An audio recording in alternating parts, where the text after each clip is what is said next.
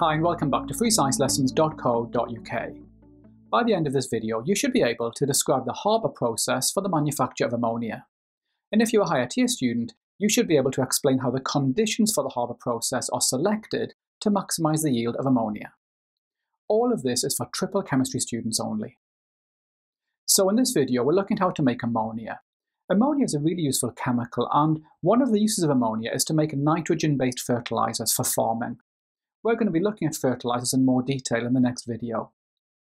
Now, ammonia is produced by the Haber process, and I'm showing you the equation for the Haber process here.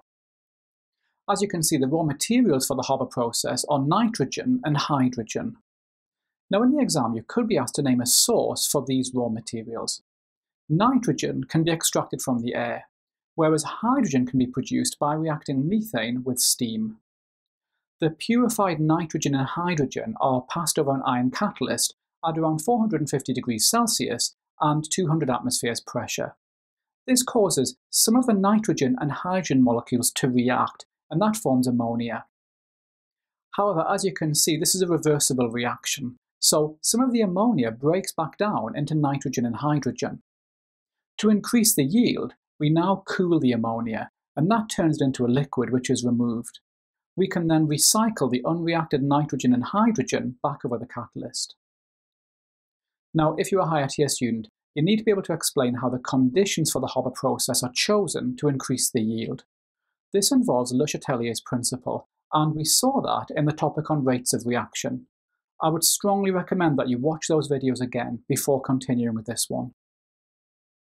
Le Chatelier's principle states that if a system is at equilibrium and a change is made to any of the conditions, then the system responds to counteract the change.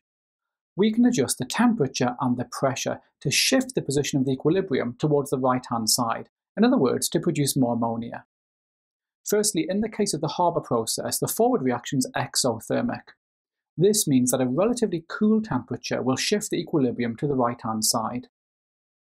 The problem is that a cool temperature makes a reaction slow. So we've got a trade-off between the rate of reaction and the position of the equilibrium. That means that 450 degrees Celsius is a compromised temperature. We get a relatively fast rate and a relatively high yield of ammonia. The iron catalyst also increases the rate of the reaction. Pressure also affects the equilibrium. In the case of the Haber process, a high pressure will push the equilibrium to the right-hand side. And we've already looked at the effect of pressure on reversible reactions in the rates of reaction topic.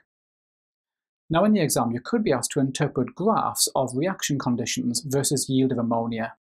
I'm showing you a graph of that here. As you can see, the percentage of ammonia is highest at a relatively low temperature. However, as we said before, a low temperature reduces the rate. If we increase the temperature, this increases the rate, but it lowers the yield.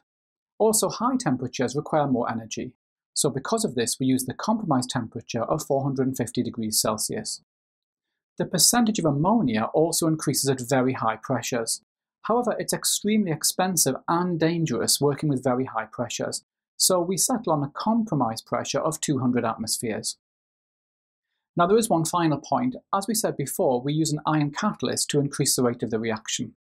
However, you need to remember that the catalyst has got no effect at all on the position of the equilibrium.